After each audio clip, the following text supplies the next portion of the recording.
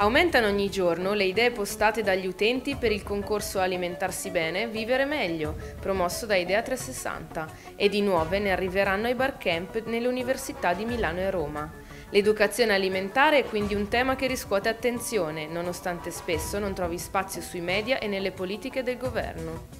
Ma io credo che in Italia ci sia anche un po' il fatto che la cultura alimentare è un po' considerata nel DNA del, degli italiani proprio perché siamo un patrimonio eh, agroalimentare e gastronomico molto importante. Nello stesso tempo siamo anche molto influenzati dai nuovi stili di vita, da nuovi modelli di consumo che vanno un po' a incidere a, diciamo, su quelle che sono le tradizioni italiane. Quindi io credo che la, la cultura alimentare sia assolutamente una priorità per l'Italia, proprio per riportare la consapevolezza consapevolezza sia dell'importanza del patrimonio alimentare italiano, ma anche dell'importanza dell'alimentazione nella salute e negli stili di vita. Lavorare a scuola e in famiglia sulla cultura alimentare è fondamentale per combattere le malattie provocate da una cattiva alimentazione. Il diabete, ad esempio, è in forte aumento tra i giovani e i bambini della civiltà industriale ed è il risultato di un'alimentazione eccessiva e disordinata.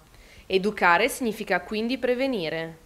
Credo che Idea 360 possa fare molto per lavorare su questo, su questo terreno. Possiamo pensare di mettere insieme tanti soggetti diversi, eh, attivi nel settore alimentare, ma anche nel settore sanitario, nel settore della ricerca agroalimentare, agrario e via dicendo, proprio per eh, lavorare su degli sforzi comuni di informazione, di educazione e anche di progetti concreti che vadano a rispondere a queste esigenze. La tecnologia può offrirci molti spunti importanti, una diffusione delle informazioni, la, la possibilità di introdurre nelle scuole delle forme anche virtuali di sperimentazione e poi abbiamo dei grandi musei in Italia che possono anche aiutarci in questo senso a fare delle grandi opere di educazione. Credo che sia importante lavorare sull'educazione, sulla sensibilizzazione dei genitori, della famiglia, sull'importanza dell'alimentazione corretta e anche lavorare molto con le scuole. Credo che si possa fare molto eh, impostando anche, un, eh, lavorando sia sul tema di alimentazione e salute,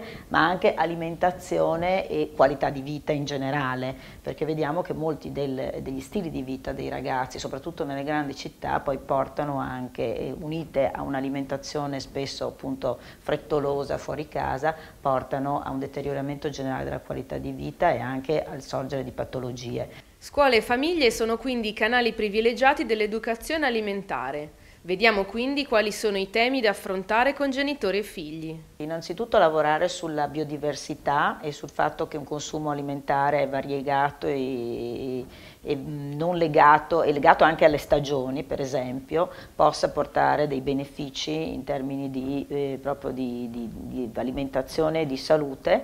Penso che si possa lavorare molto con le famiglie e con le scuole, perché il momento della scuola ora, oggi è molto importante per i ragazzi, passano più tempo nella scuola che in famiglia, quindi lavorare soprattutto sull'introduzione nelle scuole di un'alimentazione più variata, come esempi di successo li abbiamo visti in altri paesi, anche negli Stati Uniti. Aiutare i giovani fin da piccoli, fin dalle scuole elementari, dagli asili, a consumare di più il cibo fresco, avere un'alimentazione variata e poi educare molto sia nelle scuole ma anche nei luoghi in cui si consumano i pasti, al valore calorico dei cibi, ai valori eh, energetici, ai contenuti di vitamine. Non dimentichiamo che eh, una miglior salute vuol dire anche un minor costo sociale della sanità. Un tema importante per avvicinare anche le famiglie a, una sana alimentazione è quello di avvicinarli di più alla natura, alla produzione, di della cultura.